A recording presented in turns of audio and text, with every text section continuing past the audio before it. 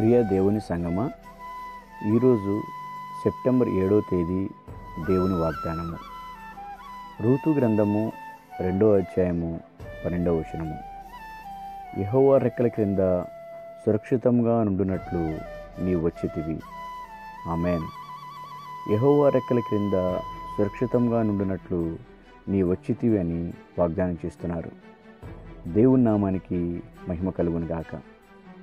మనము పరిశుద్ధ గ్రంథంలో చూసినట్లయితే ఇజ్రాయేలీలు నాలుగు వందల ముప్పై సంవత్సరములు ఐగుప్తు దేశంలో బానిసలుగా ఉండగా మోషేతో దేవుడు ప్రజలను బానిసత్వం నుంచి విడిపించాలి అని మాట్లాడి మరలా ఐగుప్తునకు పంపించి అనేక తెగుళ్ళు ఐగుప్తులకు రప్పించి ఇజ్రాయిళ్ళను దేవుణ్ణి ఆరాధించుటకు ఫరో రాజును ఒప్పించి వారిని ఎర్ర సముద్రం దాటించి అరణ్యంలో ప్రయాణం చేయించి ఆకాశం నుండి మన్నాను కురిపించి వారిని పోషించాను. వారి ప్రయాణంలో అలసిపోనివ్వక ఇజ్రాయిల్ల పితరుడైన అబ్రహాంనకు వాగ్దానం చేసినట్లు వారిని కానాను దేశంనకు అనగా పాలు తేన్లు ప్రవహించే దేశంనకు నడిపించి సురక్షితంగా నుండేటట్లు దేవుడు చేశాను. ఆమెన్. అదేవిధంగా యూదా బెత్లహేంలో కరువు కలుగగా నయోమి తన భర్త పిల్లలు మోయబ్ దేశంకు వెళ్ళి అక్కడ కాపురం ఉండిరి. నయోమి పెనిమిటి ఎలిమెలేకు చనిపోయాను.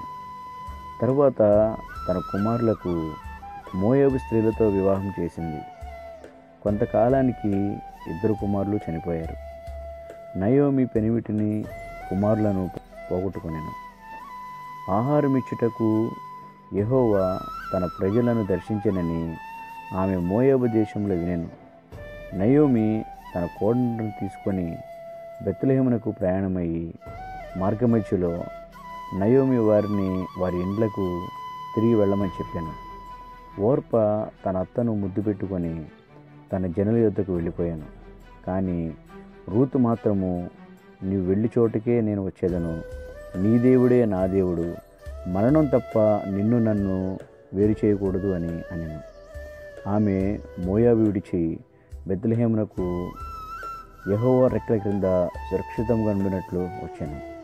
దేవుని నామానికి మహిమ కలుగునుగాక ప్రియ దైవజనమ ఇజ్రాయిలను మరియు రూతును దేవుడు ఆయన రెక్కల క్రింద సురక్షితంగా ఉండేట్లు చేశాను.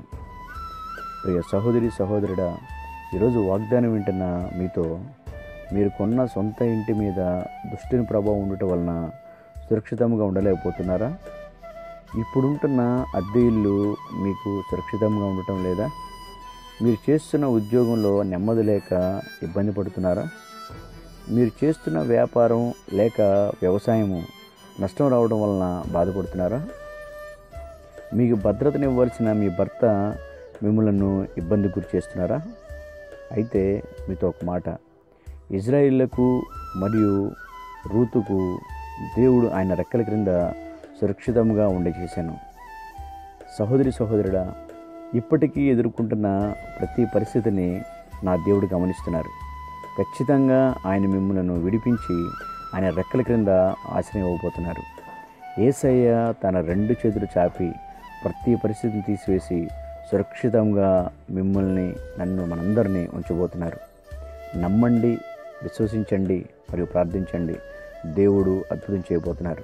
ఎందుకంటే ఇజ్రాయిల్లను దేవుడు విడిపించి సురక్షితంగా ఉండేటట్లు చేశారు. రూతుని దేవుడు విడిపించి సురక్షితంగా ఉండేటట్లు చేశారు. వారి జీవితాల్లో చేశారు అంటే ఖచ్చితంగా మన జీవితాల్లో కూడా ప్రభు చేయబోతున్నారు. ప్రార్థనలోకి వెళ్ళే ముందు ఒక చిన్న మనవి.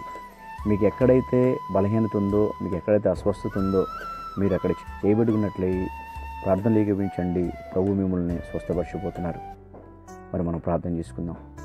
మా ప్రియ పరలోక తండ్రి మీ ఘనమైన నామాన్ని బట్టి మీకు వందనాలు స్తోత్రాలు. ఈరోజు మమ్మల్ని ప్రేమించి ఇచ్చిన వాగ్దానికి నీ స్తోత్రాలు.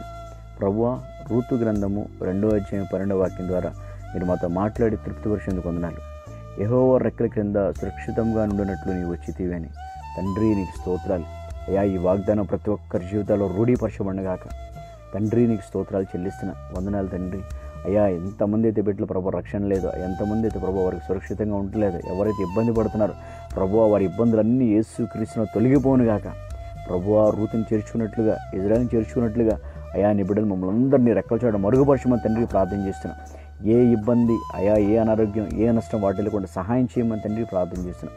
అదేవిధంగా తండ్రి ఎంతమంది అయితే ఇప్పుడు ప్రార్థనలు ఏకీపిస్తున్నారో వారికి ఎక్కడైతే బలహీన చేయబెట్టుకుంటున్నారో ఇప్పుడే యేసు క్రీస్తు నామంలో నీ హస్తం వారిని తాకునుగాక యేసు క్రీస్తు నామలు ఇప్పుడు నీ హస్తం వారిని తాకునుగాక యేసు క్రీస్తు నామం ఇప్పుడు హస్తం వారిని తాకునుగాక నజ్జరుడైన యేసు క్రీస్తు నామంలో దైవ స్వస్థత కలుగునుగాక శర్రస్సు నుంచి అరికాళ్ళ వరకు యేసు రక్తం చెల్లిసిన ప్రభాని స్తోత్రం ప్రతి శరీర బలహీనత యేసు క్రీస్తున పరిపూర్ణ విడుదల కలుగునుగాక మీరు విడిపించిన విధానం బట్టి స్తోత్రాలు చెల్లిస్తున్నాను తండ్రి అదేవిధంగా అయా ఈరోజు బర్త్డే ఈరోజు మ్యారేడ్ అయా మ్యారేజ్ ఉన్నాడు వారిని కూడా దీవించండి ఆశీర్వించండి అభిషేకించండి వాగ్దాన పరిస్థితులు జరిగించమని ప్రభు ప్రార్థన చేసిన తండ్రి అదేవిధంగా ఎంతమంది అయితే తండ్రి అయా కరోనాతో బాధపడుతున్నారు ఐసీయూలో హోమ్ క్వారంటైన్లో ప్రభు అయా తండ్రి హాస్పిటల్స్లో ఇబ్బంది పడుతున్నారు.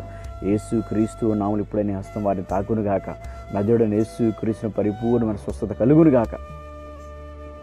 తండ్రి దీవించి ఆశీర్వించి అభిషేకించమని తండ్రి ప్రార్థన చేస్తున్నాను అదేవిధంగా పరిశుద్ధాత్మడానికి స్తోత్రాలు చెల్లిస్తున్న తండ్రి మమ్మల్ని అందరిని ప్రభు నీ రెక్కల మరుగుపరిచి దీవించమని ఆశీర్వించమని యేసు క్రీస్తు నామంలో అడుగుచున్నాం తండ్రి. ఆమెన్. ప్రియ సహోదరి సహోదరుడా మీతో ఒక మాట. మరి ఈ వాగ్దానాన్ని మీకు తెలిసిన వాళ్ళకి మీ బంధువులకి మీ స్నేహితులకి అందరికీ షేర్ చేయండి మా యూట్యూబ్ ఛానల్ సబ్స్క్రైబ్ చేయండి.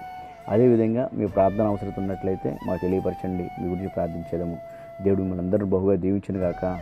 Thank you all praise lord